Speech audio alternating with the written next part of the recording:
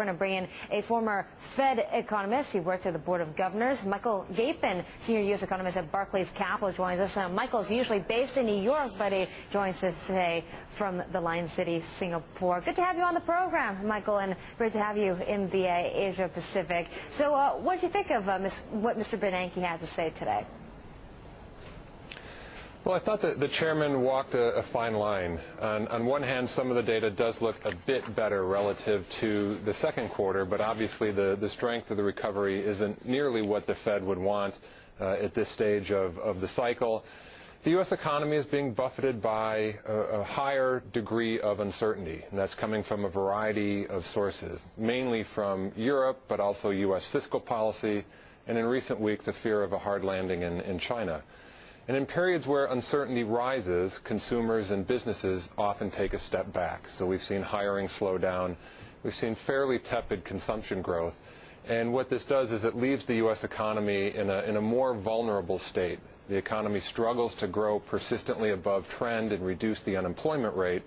And so we, we sit at a very slow, albeit positive growth rate, but it leaves us susceptible to the next shock. And of course, the big risk is, or the big fear is that something comes out of Europe, which would tumble both the European economy and the U.S. economy into a recession.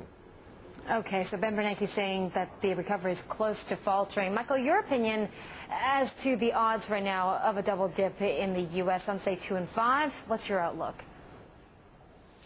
Uh, we would say some of the models that, that we have that, that look at this, we would say about one in three, so about a 30% chance. Uh, that is certainly elevated relative to where we were earlier in the year. It's not as high as some of these indicators have pointed in the past. So we would say certainly warning signals have risen, but higher uncertainty alone usually isn't something that sends the economy into a recession, but certainly we're vulnerable to a significant risk event in Europe. Well, the uh, Fed chairman saying that the central bank can take further steps to sustain a recovery. What does that mean? What sort of steps is he talking about, considering we already have Operation Twist? Well, I, I, really think that the main response at this point would be further asset purchases. So if there was a, a, a larger global uh, slowdown and, and, a transmission of, of risk aversion into the U.S., we think it would come through financial markets by widening credit spreads, uh, sending equity valuations lower. Um, to the extent that there was systemic risk coming out of Europe's related to the European banking system and sovereign debt crisis, you might see the Fed reopen some of its previous liquidity facilities. Uh, so there are some things the Fed could do on the margin, but in, in terms of the shock that's facing us, I think the, the most likely ones are more asset purchases and some of the liquidity facilities that were used in the past.